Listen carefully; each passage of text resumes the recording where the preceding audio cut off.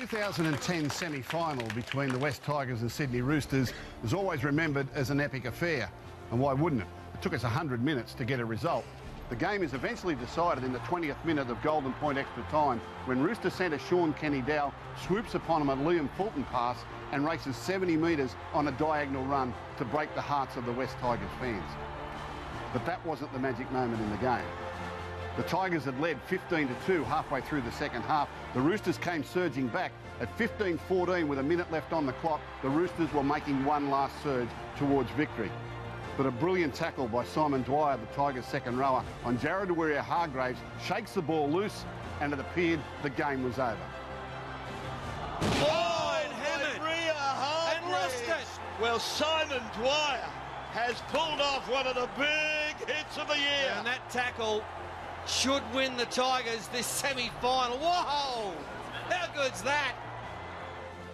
All they had to do was win the scrum, hold on to the ball, and they would advance through the finals. Miraculously, though, the scrum breaks up, and Frank Paul Nu'uausala falls on the ball, meaning the Tigers have now got to defend for 30 seconds to get their victory. It looks as though the Roosters are going to panic their way to a loss. The ball goes out to the left-hand side of the field. They run out of room, pass it back infield to Anthony Minichiello if you can keep your head when those about you are losing theirs. Anasta has parked himself in the backfield waiting for the opportunity. He screams to Anthony Minichiello. Minichiello doesn't hesitate. He fires the ball to his captain. It's now Minichiello, a long-range shot from the Nasta.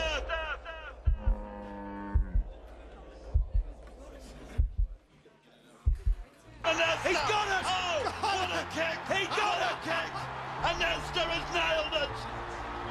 Braith Anasta has kicked the drop goal!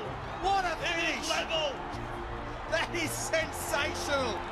What a great finish to a semi-final. There are two types of players in this game. When the scores are tight, when the game is in the balance, there are those that don't want the ball, and there are those that want the ball in their hands. Braith Anasta is a player that wants the ball. Luckily for the Roosters on this occasion, he got it.